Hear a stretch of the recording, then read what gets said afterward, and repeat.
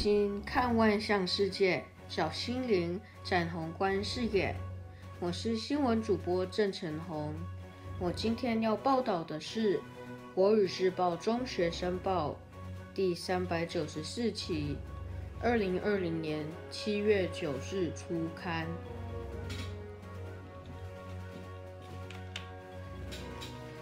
港版国安法生效即开闸。数千人抗议，与三百人被捕。中国全国人民代表大会六月三十日通过了香港反国家安全法，新措施随即生效后，主张港独的活跃人士纷纷删除在社群网站的贴文。对此，美国国务卿蓬佩奥表示。由于香港这个亚洲金融中心不再享有别于中国大陆的港人治港的自治地位，美国将禁止对港出口武器及敏感技术。商务部长也表示，香港的特殊贸易地位将被撤销。一九九七年。英国将香港主权移交给中国，自此，香港一直受到“一国两制”框架的管理。该框架预计于二零四七年到期。与港版国安法被认为破坏了当初香向香港承诺承诺的自治权。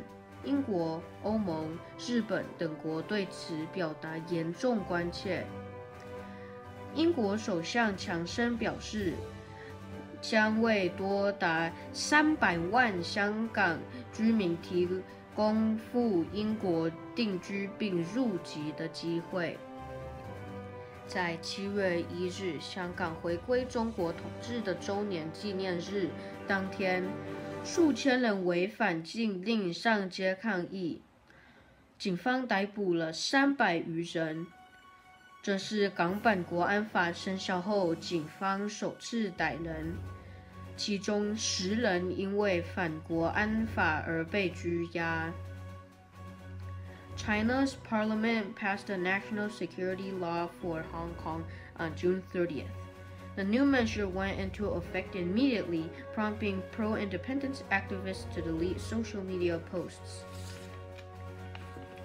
In response, U.S. State Secretary Mike Pompeo said the U.S. will bar the export of weapons and sensitive technology to Hong Kong as the Asian financial hub is no longer autonomous from mainland China. The Commerce Secretary said the territory's special trade status will be revoked. Hong Kong was handed over from the UK to China in 1997.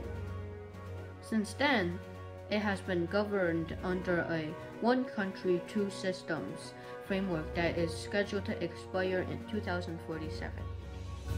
This legislation is believed to undermine the autonomy promised to Hong Kong. Britain, the EU, Japan, and others have expressed serious concerns over the legislation. British Prime Minister Boris Johnson said up to 3 million Hong Kong residents are to be offered a chance to settle in the UK and eliminately apply for citizenship. On July 1st, the anniversary of return to China's rule, thousands defied the ban on protests. Police officers arrested more than 300 people the first arrest under the new law. Ten were held for violating the security law. 我的播报到此结束，谢谢大家。